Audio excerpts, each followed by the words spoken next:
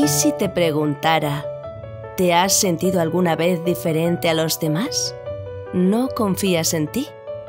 Así se siente nuestra pequeña protagonista. Greta, la mariposa, está triste.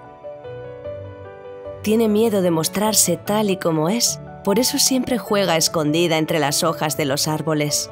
Jamás juega con el resto de mariposas, pero desde su escondite las observa revolotear luciendo sus vistosas alas de colores. Greta es diferente. Sus alas son transparentes. Una tarde de verano, después de una pequeña tormenta pasajera, aparece en el cielo el arco iris y Greta tiene una idea. Volará hasta él para pedirle un deseo. ¿Le concederá su deseo el arco iris? ¿O quizá le desvelará el secreto mágico que esconde en sus alas?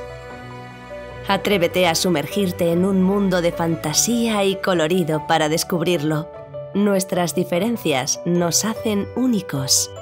Greta seguirá los consejos del arco iris mostrando el secreto mágico que esconde en sus alas y conseguirá sentirse bella y especial siendo una mariposa de cristal junto al resto de mariposas. Encontrará su propia felicidad. ¿Y si te dijera, ¿sabías que la mariposa de cristal existe? Su nombre científico es Greta Otto. Sus alas parecen frágiles, pero realmente son fuertes y resistentes.